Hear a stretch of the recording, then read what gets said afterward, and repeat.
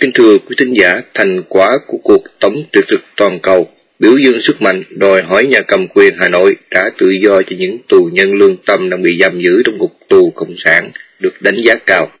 Nhưng cái giá mà một số nhà tranh đấu cho nhân quyền tại Việt Nam phải trả cho thành quả này cũng không phải nhỏ.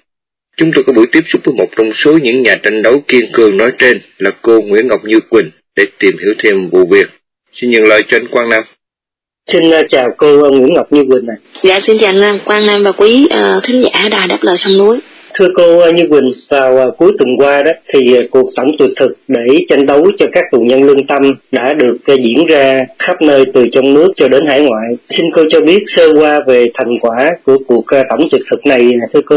Dạ vâng, à, ngày tổng tuyệt thực um, toàn cầu đã có hơn 1.000 người Ừ, từ khắp nơi 15 quốc gia và hơn 20 thành phố trên toàn thế giới đã tham dự. Có thể thấy đây là một cái hành động tranh đấu đầu tiên sau 40 năm mà người Việt trong và ngoài nước cùng nắm tay nhau để thực hiện hết sức dịp nhàng từ ờ, Sài Gòn, Huế, Nha Trang, Hà Nội cho đến Paris, uh, Sydney, Melbourne và ở các thành phố Mỹ cũng giống như ở những nơi xa như Hàn Quốc nơi mà mình nghĩ là rất là có các anh chị đấu tranh uh, ở Lào, ở, ở Campuchia.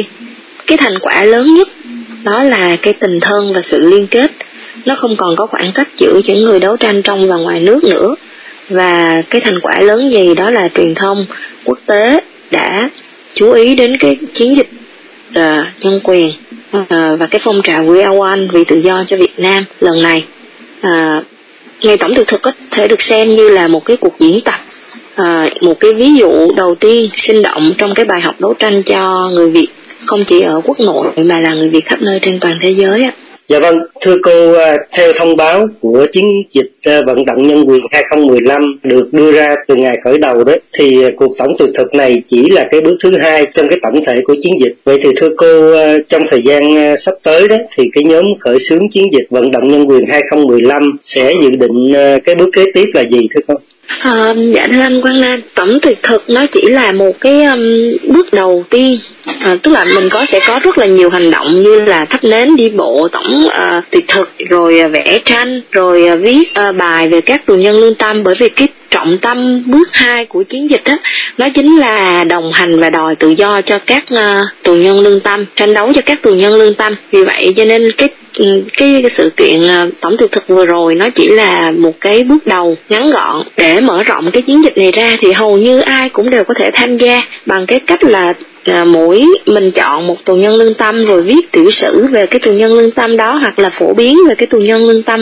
Cái người mà mình định vận động á thì cái à, cái khi nó biến thành phong trào thì tức là sẽ không có mẫu nào hết mà là mỗi mỗi người tự làm cái mình thích thì cái số đông tham gia nó là cái thành quả mà mình muốn những người không vì điều kiện có thể uh, hưởng ứng ở trên mạng uh, chụp hình với cái bản đòi tự do cho tù nhân lương tâm chụp hình với uh, t-shirt mà mình design được rồi uh, những cái à, người mà có khả năng viết thì có thể viết cho tù nhân lương tâm đi thăm gia đình viết thư cho tù nhân lương tâm. À, những cái buổi hoạt động ngoài trời như là đi bộ vì tự do cho tù nhân lương tâm à, đạp xe đạp vì tự vì tự do cho tù nhân lương tâm. Các anh chị chụp hình đẹp thì có thể tổ chức thi hình ảnh nhân quyền. Tức là chúng ta sẽ có rất rất nhiều hoạt động từ đây cho đến cái ngày cao điểm của chiến dịch là ngày quốc tế nhân quyền ngày 10 tháng 12 năm 2015 ạ. Xin cảm ơn cô dương Quỳnh. Thưa cô, chúng tôi cũng được biết đó là trong cuối tuần qua, những anh chị em ở Nha Trang đã bị công an đàn áp rất là dã man. Xin hỏi cô là sức khỏe của cô và những anh chị em ở Nha Trang đã bị công an đánh đập thì lúc này ra sao thưa cô? À, dạ vâng, à, bốn người bị à, đánh đập ở công viên bờ biển Trần Phú thì bây giờ sức khỏe nó cũng dần hồi phục. À, cái người bị đánh nặng nhất tôi nghĩ có lẽ là anh à, Võ Trường Thiện. Bởi vì sau đó tôi gặp thì tôi cảm thấy người của anh Thiện có những cái dấu dày ở sau lưng nó rất là rõ.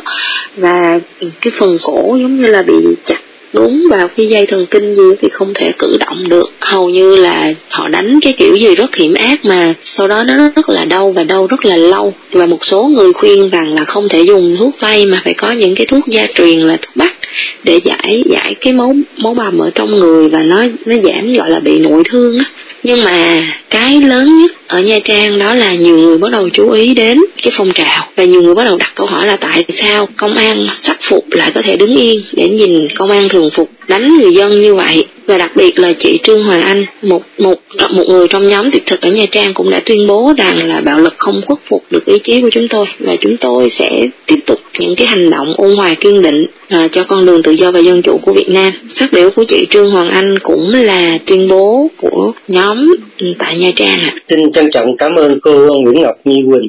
Dạ, xin chào anh Quang Nam và kính chào quý khán giả.